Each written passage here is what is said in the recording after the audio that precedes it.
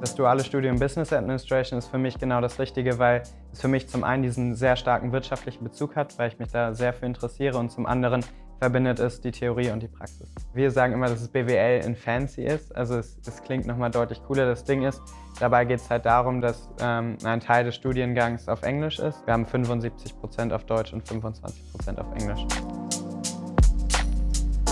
Also wenn du dual Business Administration studieren möchtest, würde ich an deiner Stelle Gas geben in den Fächern Mathe, Deutsch, Englisch. Ich glaube, das ist ein Vorteil, wenn man das gut kann, dann wird man auch, denke ich, bei der Uni bestehen. Und ein weiterer Vorteil ist, wenn du mit anderen Leuten gut im Team zusammenarbeiten kannst, aber auch vielleicht so ein bisschen soziales Engagement mitbringst.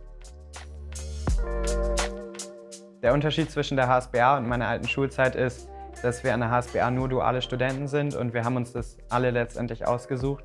Und deswegen geben die meisten Leute da mehr Gas als damals in der Schulzeit, wo man vielleicht keinen Bock auf das Fach hatte.